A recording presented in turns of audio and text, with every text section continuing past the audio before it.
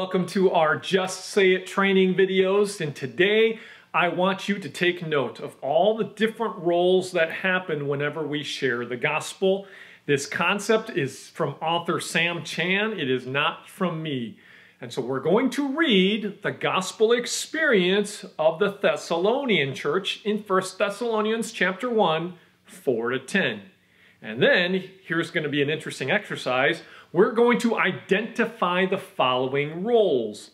What is God the Father's role? What is Jesus' role? What is the Holy Spirit's role? What is the evangelist's role? And what is the non believer's role? It's not as complicated as you think. You're, this is going to be a great time for you to pause the video and do the work for yourself. And if you do, your brain is going to light up way more if you do the work rather than for me to give you the answers. And again, in evangelism, there are five parties involved whenever the gospel is shared. We have the Trinity, the messenger, and the hearer. So what is God's role? What is the Son's role? What is the Spirit's role? What is the evangelist's role? And what is the hearer's role. Pause the video right now, do the work, take a look at 1 Thessalonians chapter 1, 4 to 10.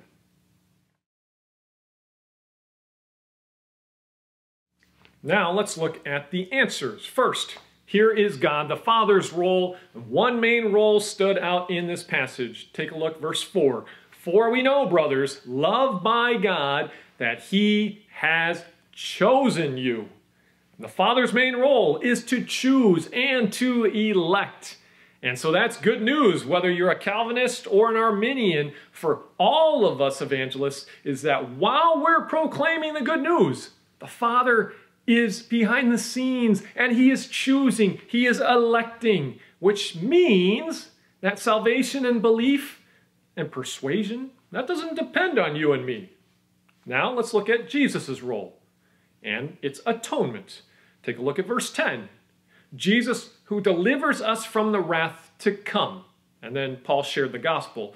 And, and, so his role happened already with the cross and the resurrection. And so Jesus' role is in the story. The message of the gospel is about Jesus.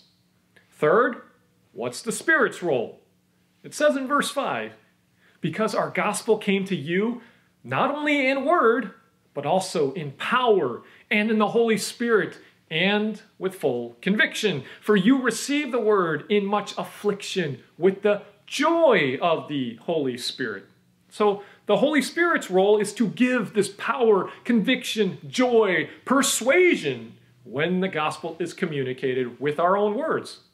And so when people finally believe and they just know that this gospel is true, and, and maybe they're smiling. Maybe there's tears of joy or physical trembling and shaking. That's the Spirit right there. Fourth, what's our role as evangelists? It says in verse 5 that the gospel came in word. Therefore, our role is to proclaim the gospel in Jesus' story in word. Now, this can be voice, this can be text, this can be audio. What exactly do we say? In verse 10, we see what Paul proclaimed to this church in Thessalonica. First, he proclaimed that Jesus delivers us from the, God's wrath through atonement. Second, Jesus was raised from the dead. Third, Jesus is coming back. Fourth, we need to turn from idols. But there's more to the evangelist's role than just to say it. And so our next role is to be examples. Verse 5 also says, You know what kind of men or women we proved to be among you for your sake, and you became imitators of us and of the Lord. And so, one of the things we find out is our character as evangelists, it's also communicated alongside the gospel in word. And so, an evangelist must be worthy of imitation.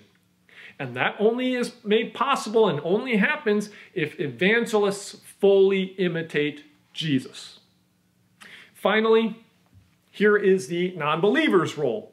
They imitate the evangelist and Jesus, we just read that, And then they become examples for others themselves. Verse 7 So that you, Thessalonica, you became an example to all the believers.